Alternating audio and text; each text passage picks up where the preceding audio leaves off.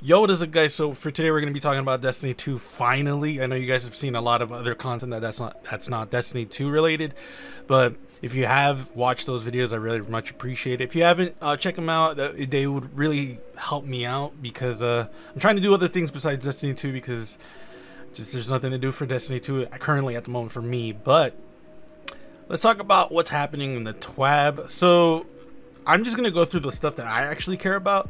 So Iron Futures, it's almost time for the final Iron Banners uh, season of the Chosen. This will be your last opportunity to complete the Iron Sharpens Iron Seasonal Challenge, so get in there and smash some heads. If you are also trying to get your power to 1325 for Grandmaster Nightfalls, don't forget the 4 Pinnacle Powered Weekly Bounties that Saladin offers.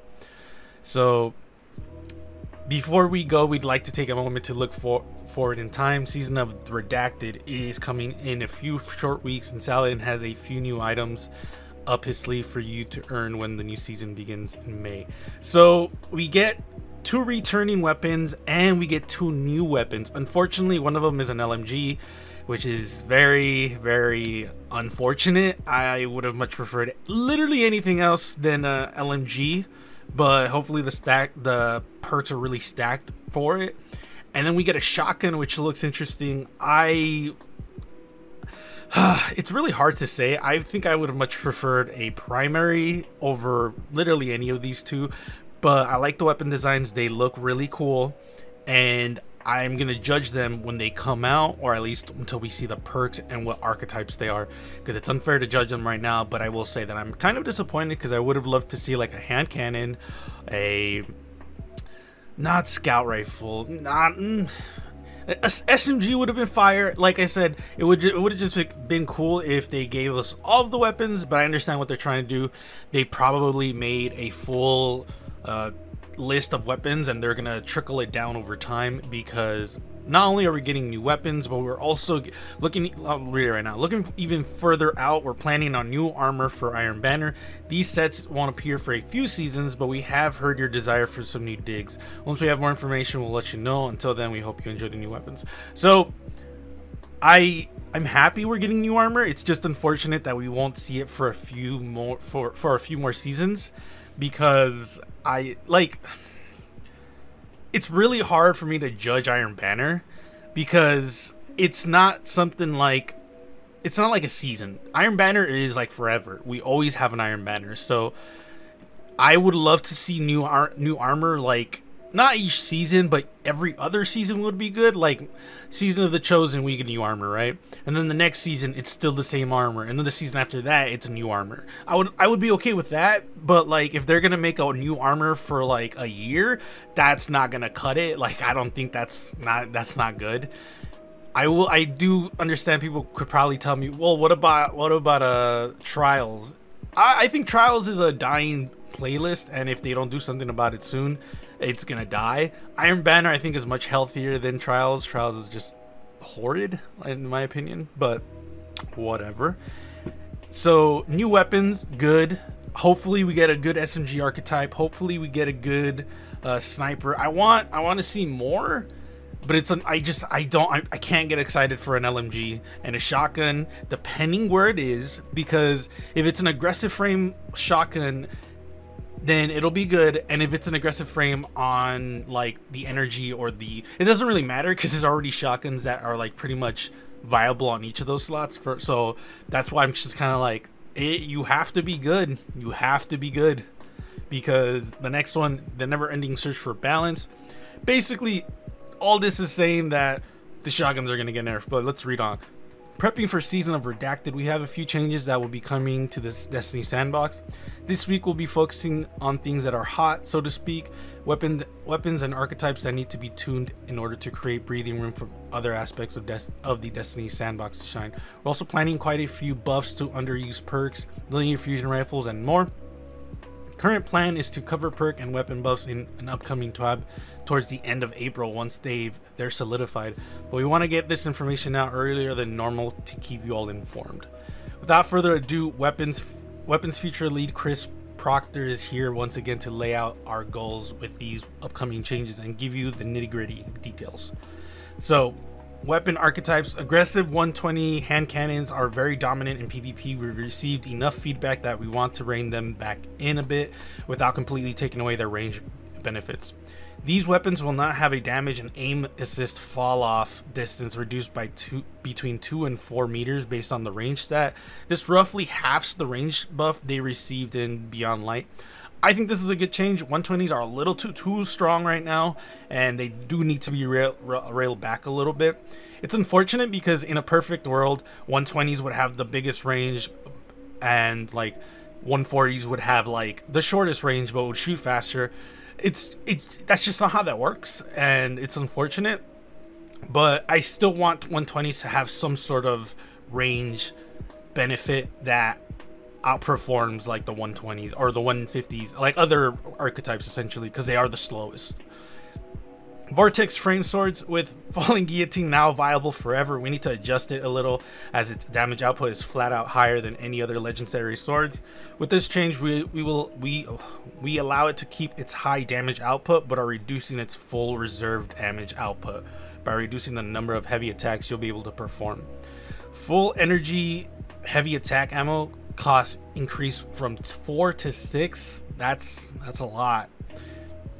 And chip damage. Certain weapons, swords and bastion, bypass shields by varying amounts, which has caused numerous issues with stasis encased enemies, encounter mechanics, and other content. We have removed chip damage from swords and bastion. Interesting. So this is like the part where people might lose their mind a little, considering there's two uh, nerfs that are happening.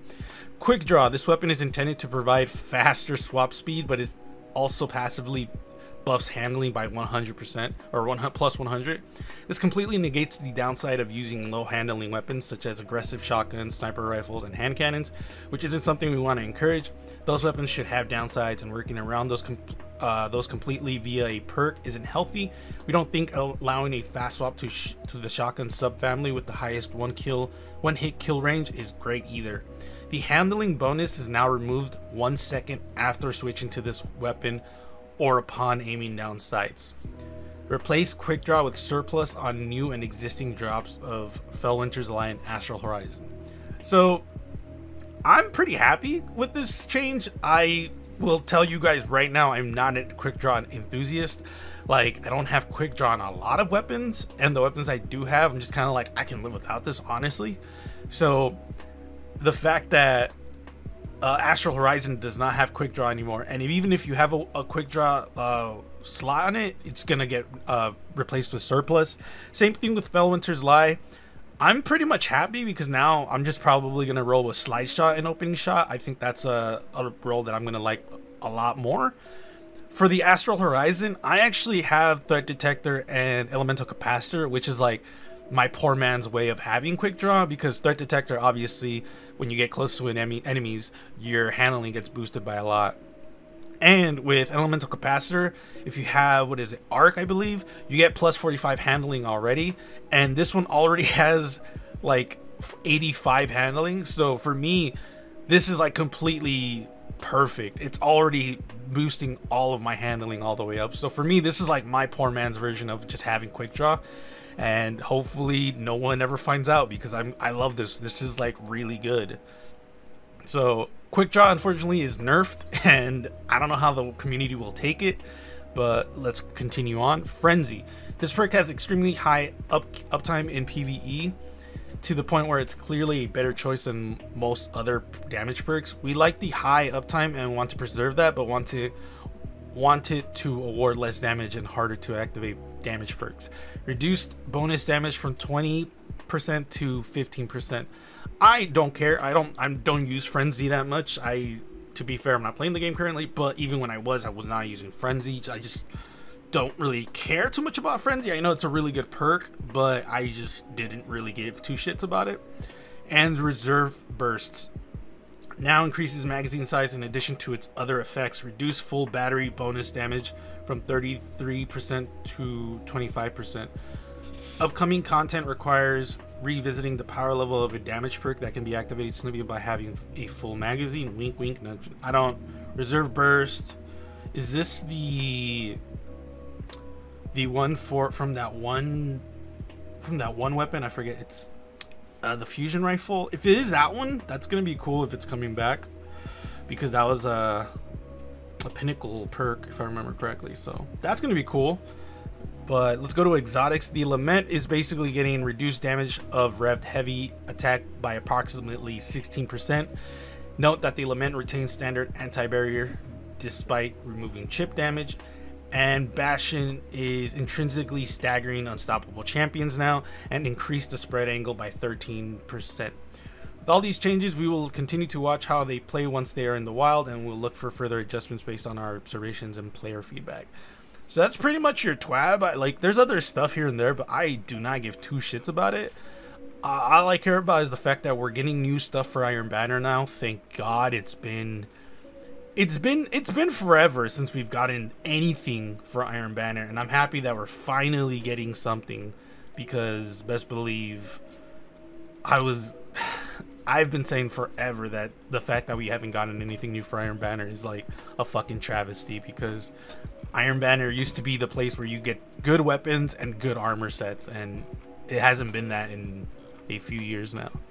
So let me know what you guys think in the comments below. I'm excited for the next season, mostly because there's just a bunch of stuff happening next season.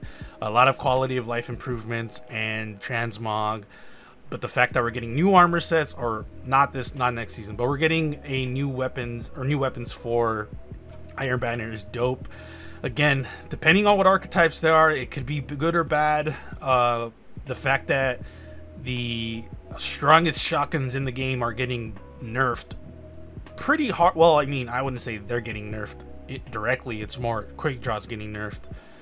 I think it's pretty cool. I wonder how Quick Draw will react to like weapons that are not shotguns, because I have a few Quick Draw rolls that I kind of want to see how that would roll out.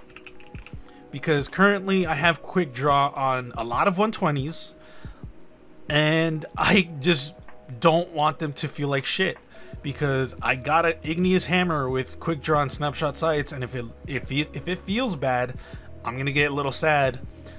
But it's okay because I actually have an igneous hammer with outlaw and celerity, and if I remember correctly, they're actually bumping something for celerity next season. So we'll see what's happening. Uh, I'll have some more videos for Destiny 2 later, but currently I have other plans. Like I said, Outriders. I'm doing Outriders. I'm doing uh, Valheim. I haven't posted it yet, but I already have a video uh, done, and I just waiting for it to go up.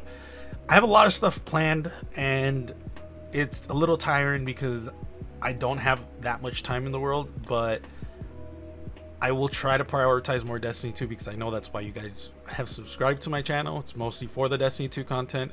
But if you guys do watch my other content and like it, I would very much appreciate it. And be safe, guys. The world's going crazy, and I will see you guys later.